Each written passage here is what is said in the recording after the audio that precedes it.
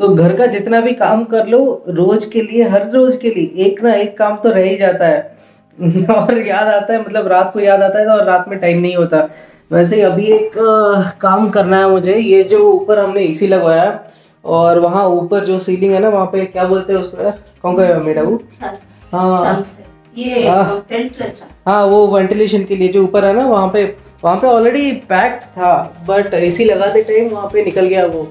और उसको अभी क्लोज करना है नहीं तो एसी अभी तक तो मैंने लगाया नहीं है क्योंकि ज़रूरत नहीं पड़ी बट अभी लगाने का सोच रहा हूँ क्योंकि वैसे भी गर्मी स्टार्ट हो चुका है तो लगा कम्बल ओढ़ो सो और यही रीज़न के लिए मोस्टली एसी लगाता नहीं हूँ मैं क्योंकि यार एसी लगाऊँगा तो सो जाऊँगा यहाँ पे कैसे भी बहुत ही प्रॉब्लम होता है यार बेड में अभी कभी कभी ऐसे लेट के काम करते हैं तो पाँच दस मिनट में मुझे नींद नींद आ जाती है।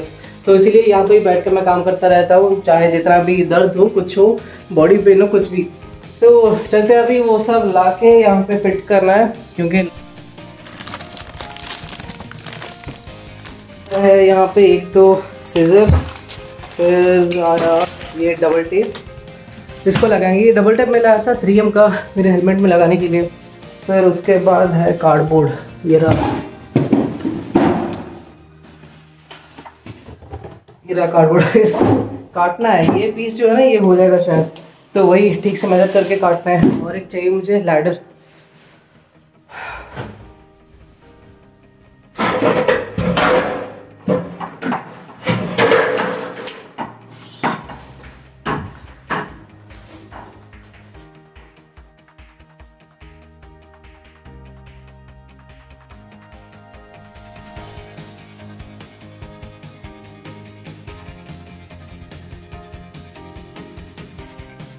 तो यहाँ पे प्रॉब्लम ये हुआ कि यह जो पिजन्स होते हैं ना, उनका घर यहाँ पे बना दिए वो लोग, ये वेंटिलेशन में। तो हम लोग को वो तोड़ना नहीं है, वो जैसा है वैसे का रहने देता है। इसीलिए नहीं नहीं तो और एक ऑप्शन था, अगर वो नहीं होता तो इसी को ही पूरा थोड़ा और अंदर लेके हम लोग क्लोज कर सकते थे। पर उनका घर को तोड़ना नहीं है, इसीलिए हम लोग डबल टेप से यहाँ पे लगा रहे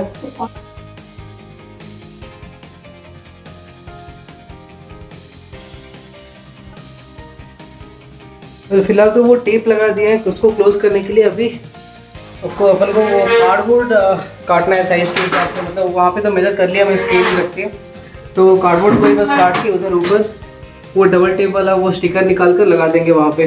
तो बस काम हो जाएगा।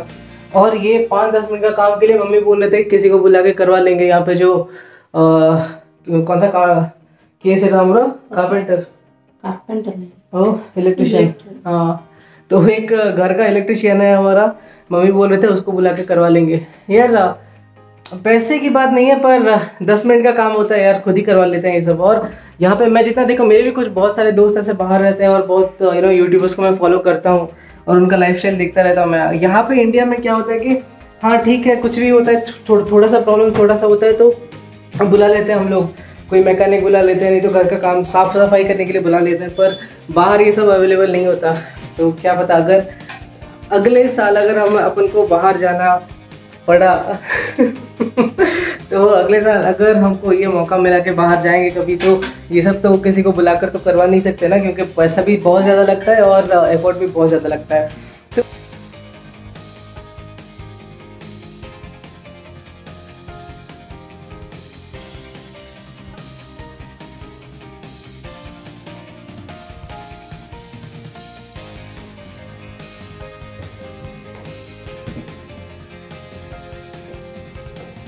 लग गया ये पूरा। ऊपर पूरा सीलिंग बंद। सीलिंग तो नहीं क्या बोलते हैं यार उसको?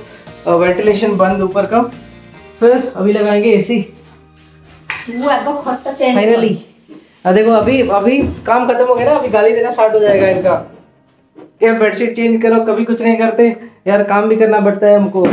पूरा दिन सही से जा रहा था फिर ऑफ़िस का काम भी खत्म हो गया देन बाहर थोड़ा जाके घूम भी लिया दो, दोस्त लोग के साथ फिर डिनर भी हो गया मस्त चिकन के साथ खा लिया फिर खाते टाइम मम्मी मुझे बोलता है कि यार तुमको एक हफ़्ते से बोल रही हूँ, अपना रूम साफ़ करो और जो ब्लैंकेट यूज़ करते हो तुम, वो कभी यू नो फोल्ड करके रखो तुम अपना बेड ठीक करो, नया बेडशीट लगाओ, क्योंकि ऑलमोस्ट एक हफ़्ता हो गया शायद मैंने बेडशीट चेंज नहीं किया जो कि always recommended to change your bedsheet तो मुझे भी लगा यार कि यार नहीं, सही में इतना बोल रहा और इतना आज तो गाली दे दिए।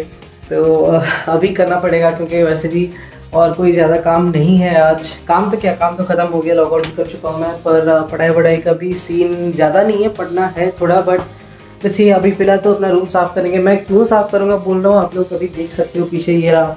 ये मेरा वर्क स्टेशन है वर्क टेबल और अ, मतलब आप लोग देख सकते हो एक और कुछ भी रखने का जगह नहीं है इसमें एक वाटर बॉटल भी आप लोग रख नहीं सकते। ये इतना गंदा करके रखा हूँ मैं।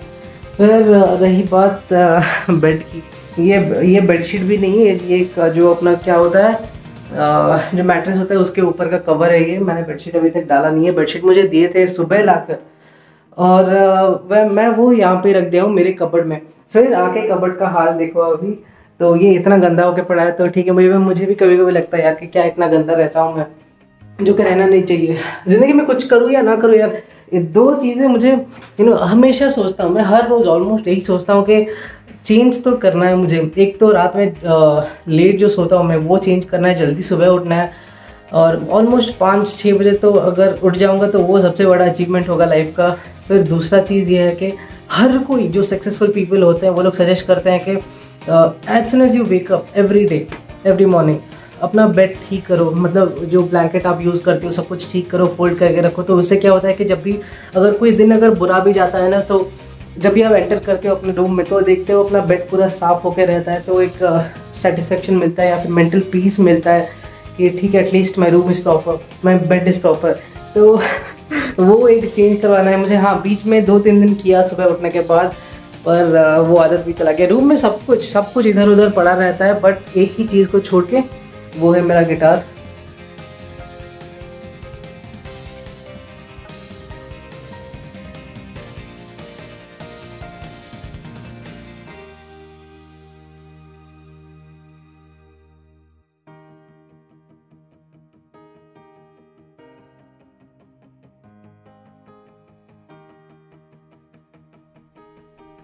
अभी डैंड्रफ के लिए बाल वाल तो काट दिया है, पर उसका ख्याल भी तो रखना पड़ेगा ना।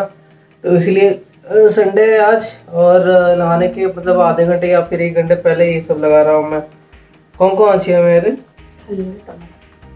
सिर्फ़ टमाटर ग्राइंड करके लगा रहे हैं। पता नहीं इससे कुछ होगा हुआ कि नहीं पर लेट्स सी क्या होता है। और वो इफ़ेक्टिव बेटा फेस पैक तो लोगोजन थी इससे टैन ये ये रिड्यूस करिए पे वाली। बट डैंड्रफ पे वाली? लेकर दिखो। वो मेडिसन ना टमाटो तो कुछ चीज़ें वैसे रह गई थी जो कि मुझे अभी चेन्नई भेजना है, दीदी छोड़ के चली गई थी यहाँ पे। और हाँ आज तो संडे है आज पूरा मुझे सर्विस तो बंद रहेगा तो इसे आज बस पैक कर देंगे, फिर उसको कल लेके जाएँगे कुरियर करने के लिए।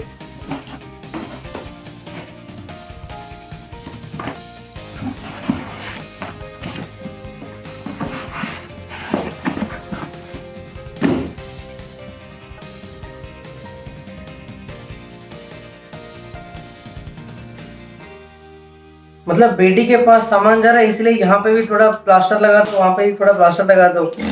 पर आज तक बेटे के लिए कुछ भी नहीं आया कहीं से। राइट? आएगा। बे- बेटे को तो उठा के लाया ना बाहर से। सही बात। कहीं से मैच नहीं हो रहा है। तो बस नहा धो के रेडी हो चुका हूँ। मतलब कहीं जाने के लिए नहीं बस काम करने के लिए क्योंकि बहुत ही ज़्यादा काम पेंडिंग रह गया है अभी। तो बाकी सारा काम तो ख़त्म हो गया, जैसे हो गया उसका दीदी का पार्सल पैक करना या फिर घर मतलब बाकी लंच भी हो गया मेरा। फिर उस हिसाब से थोड़ा जल्दी काम ख़त्म करके आज इवनिंग में मुझे बाहर भी जाना है दोस्त लोग के साथ, क्योंकि संडे है तो काम आई थिंक जल्दी ख़त्म हो भी जाएगा। और यस नेक्स्ट वीडियो में मैं आपको दिखाऊँगा कि मेरा क्या प्लान चल रहा है अभी और पैकिंग भी करूँगा मैं। देन कहाँ पे जाऊँगा, कहाँ जाने का प्लान हो रहा है, कितने दिन का प्लान हो रहा है। तो वो सब आपको नेक्स्ट वीडियो में मैं डिटेल्स होगा और कैसे जाऊँगा, मैं कैसे जाऊँगा तो बोल देता हूँ, मैं बाइक में ही जाऊँगा it's around four hundred kilometres मेरे घर से, चार सौ किलोमीटर का एक राइड होगा।